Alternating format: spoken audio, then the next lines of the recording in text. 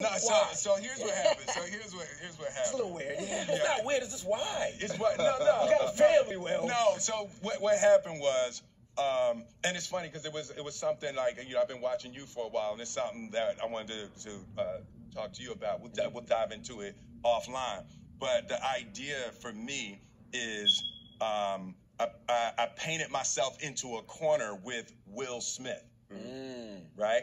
And I realized that you know we all we have our childhood traumas and we have our experiences, and then we all create these characters that are going to be our characters that defend us in the world. Ooh. There's certain things we can't do. There's certain things we can't say. Mm-hmm. Certain ways we react if people do some, something, and we create a character that we go out into the world with.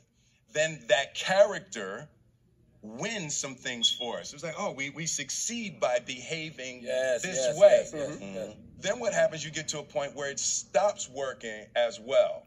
And the reason that it stops working is because it's not true.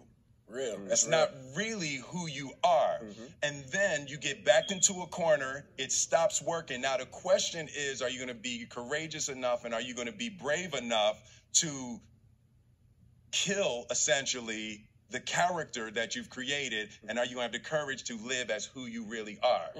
And on my 50th birthday, when I jumped out of that uh, that helicopter over the Grand Canyon, that was kind of my uh, moment for myself where I was like, I'm going to be who I am, even if it isn't in line with the Will Smith that people think I'm supposed to be.